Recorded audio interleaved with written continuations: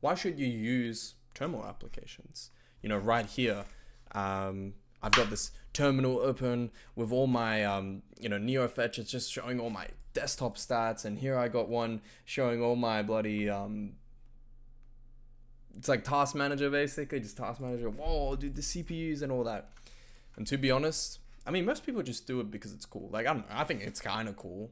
But to be honest, like, most of the time, it's usually just because it's more efficient.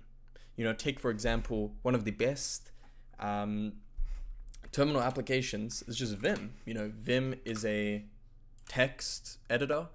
And um, if you really learn it, if you really learn it and you, you know, you can just, you know, you can just go crazy, um, you'll be insanely efficient. You know, there are a lot of terminal applications utilize the Unix philosophy a lot better, where just do something and do something as good as possible, you know?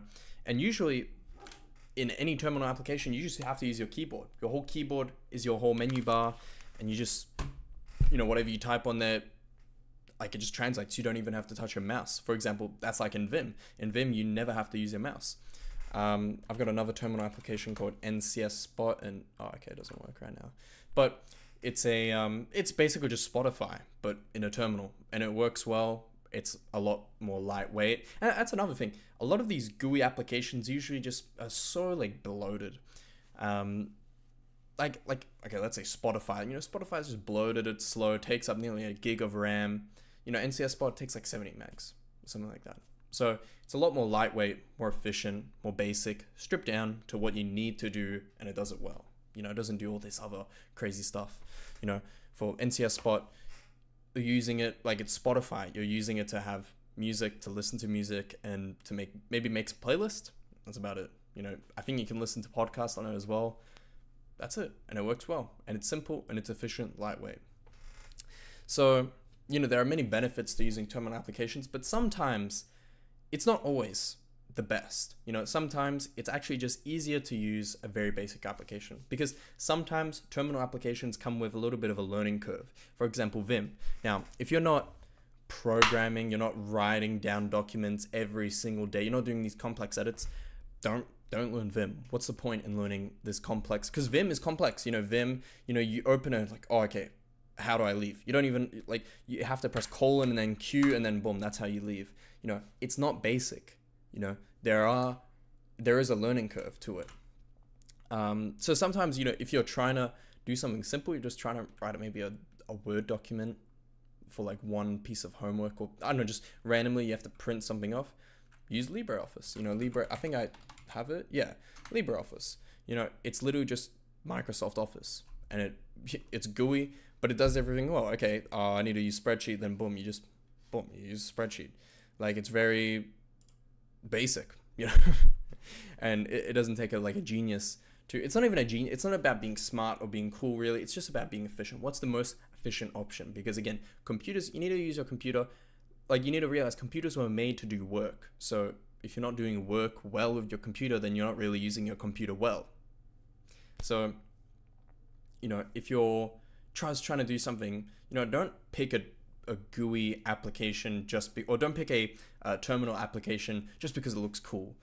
Because if you're not going to be using it regularly, then there's no point. For example, I have this um, I have this terminal application called sc-im, and it's essentially just um, like Microsoft Excel but in a terminal. And you know, it looks cool, and you know, sometimes I do a little bit of stuff with it. But to be honest, I don't really use spreadsheets that much. And this is a complex program. I kind of barely know how to use it. I know a bit, but to be honest, I often forget because I just kind of rarely touch it. So to be honest, in that instance, it's probably not the best that I'm using it. But like I knowingly know that I'm not using it well, but maybe I'll learn in the future. But I don't know. So that's what you have to understand. So you know, what's the point in wasting your time with learning something if you're not going to be using it all the time? But for example, if you're a programmer, if you're using you know IDEs and text editors all day long, then you should probably learn Vim, Vim or Emacs. You know, these are the two you know most hailed uh, editors, and for good reason because they're pretty good. I don't know about Emacs. I just used Vim and learned Vim, and that's it. Like, what's the point in learning Emacs? But you know, I heard that it's probably just as good, or you can make it just as good as Vim. So you may as well do like if you're doing something all day long, you may as well make it as efficient as possible. But also, there's some things that just don't translate well into terminal applications. For example, browsing. You can get terminal web browsers, but it's a pain. it's a pain, it doesn't work well. And because it's just the web is not built for terminal browsers. So you have to have a GUI. You just have to have something that works, you know. Um, Brave is what I use. It works well. It does what I need it to do, and it does it well. You can, you know, use like I, I know of like some more minimalist browsers um, because Brave is a bit like like it's a bit bloated, but like it works well. Um, but again, like terminal applications, sometimes they're good, they're sometimes not. You kind of have to evaluate it on a case by case basis. So, like for example, for Bluetooth, sometimes, very rarely, I'll have to use Blueman Manager, which is this Bluetooth like GUI application. And you know, it, it works well. Like it's very basic. Okay, yeah, I want to connect and stuff.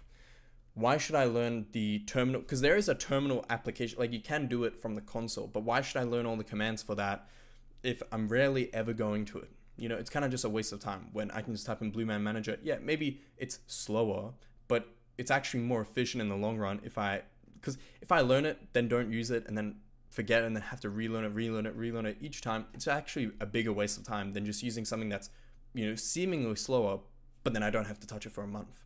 So again, case by case uh, basis.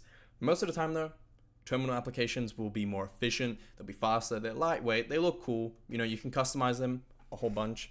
But again, if you're not going to be using it that much, what's the point? So yeah, uh, I hope this video has been informative. Um, if you like this video, please like, subscribe. That helps me out. And I'll see you guys in the next video. See ya.